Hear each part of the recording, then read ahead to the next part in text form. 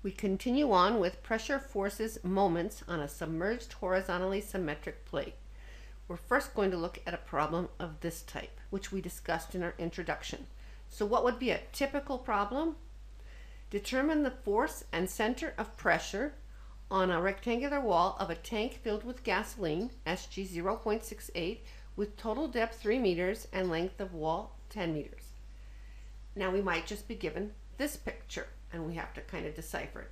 Or if it's an introductory lecture, we might be given a schematic. Here is a typical schematic. This is a side view of the tank. Here we see the liquid, which is gas. This is a side view of the wall, side view of the bottom. Where is the wall that we're going to be looking at? It's right here. We can see the depth of the tank.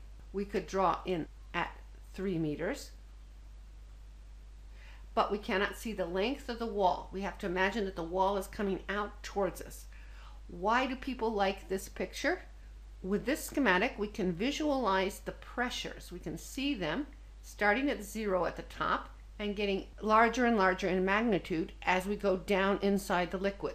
So we can actually visualize the pressures here getting bigger and bigger. So this is one typical schematic. Another typical schematic is just to draw the wall itself. So this would be the wall. Now we cannot see the gas. Of course, we cannot draw these pressure lines, but we can see both the depth and the length of the wall. And we can put in L equal to 3 meters here. And W equal to 10 meters here. And this is a good schematic when we go to calculate the force on the wall. Why? Remember that the hydrostatic pressure is the pressure exerted by a fluid, here gas, at equilibrium. This is a static system, nothing's moving, due to the force of gravity. That's exactly these pressure lines that we see here. And the force on the wall means the net resultant force. What does that mean? It means we're going to ignore atmospheric pressure here and atmospheric pressure here.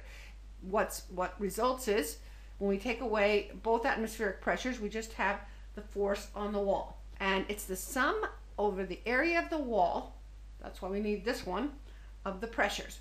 How much is this? Now, of course, the minute we hear the word sum, we know we're into integrals. The general integral is, of course, this one. The resultant force is the sum, that's integral, over A, the sum over the area of the wall of the pressures times little pieces of area. But the pressures change according to the little pieces of area where we are. So let's put in a little piece of area here. And we're looking at the pressure at that little piece. And then we have to sum over this, both going this way and this way, all these little pieces. There's infinitesimally many pieces going this way and this way. So this is a double integral. Now, there's two good things about our problem here. The first is this is a liquid. So when we substitute P equal to rho GH, rho is a constant and rho and G can come up in front of the integral and we're left with H here. So what we're looking at is H times this little piece of dA. So let's put in our H.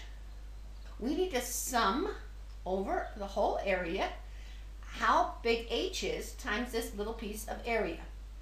Well, the second part that's really nice, and that's why we're working horizontally symmetric plates, is that you can see that h is the same along this whole part. And we can figure out how wide that is. In fact, for this rectangle, it's easy to figure out. So we can take away this dA, that's a piece that we have to sum both ways, and put in a piece that we only have to work on in one direction, in the vertical direction.